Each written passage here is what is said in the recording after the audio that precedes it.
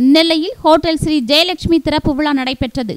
நெல்லையில் ஹோட்டல் ஸ்ரீ ஜெயலட்சுமி ஆயிரத்தி தொள்ளாயிரத்தி தொண்ணூற்றி ஐந்தாம் ஆண்டு பாளையங்கோட்டை மார்க்கெட் பகுதியில் ஆரம்பிக்கப்பட்டது. அதன் மற்றொரு கிளை மகாராஜ நகரில் இயங்கி வருகிறது. ஹோட்டல் ஸ்ரீ ஜெயலட்சுமியின் மூன்றாவது கிளை சாந்தி நகரில் நிறுவப்பட்டது. அதன் திறப்பு விழா நடைபெற்றது. திறப்பு விழாவிற்கு பாரதிய ஜனதா கட்சியின் முன்னாள் மாவட்ட தலைவரும் தூத்துக்குடி மாவட்ட பார்வையாளருமான தயாசங்கர் கலந்து கொண்டு ரிப்பன் வெட்டி திறந்து வைத்தார். விழாவில் ஓய்வு பெற்ற உதவி ஆணையாளர் சார்லஸ் வாக்கர் தேவதாஸ் கலந்து கொண்டு சிறப்பித்தார். சிறப்பு அழைப்பாளராக கார்த்திகேயன் பாபு பழனிராஜ் சண்முகம் முத்து ஆகியோர் கலந்து கொண்டனர். திறப்பு விழாவில் ஹோட்டல் ஸ்ரீ ஜெயலட்சுமி உரிமையாளர் கோவில் நித்யானந்த் சுனில்குமார் ஆகியோர் அனைவரையும் வரவேற்றனர். விழாவில் நண்பர்கள் உறவினர்கள் பலரும் கலந்து கொண்டனர்.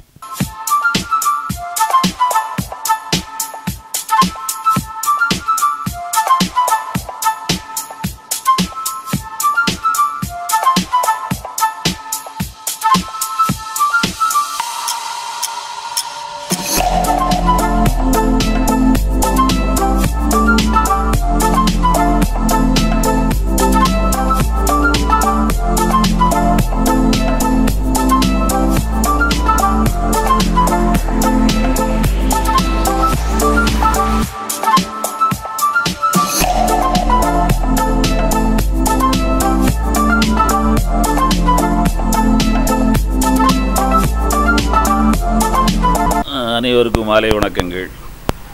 இன்றைய தினம் பெருந்தலைவர் காமராஜின் பிறந்த நாள் அன்று வாழைஞ்செட்டிகுளை சார்ந்த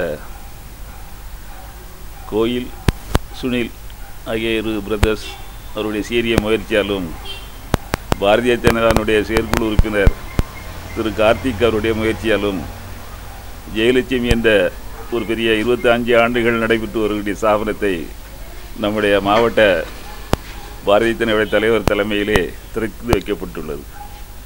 இந்த விழாவில் கலந்து கொள்வதற்காக வேண்டி நான் மிகவும் மகிழ்ச்சி அடைகிறேன். ஏனென்றால் புரோட்டா என்றாலே அந்த காலத்தில் ஜெயலட்சுமி ஹோட்டல் என்ற ஒரு பேர் வாங்கியது.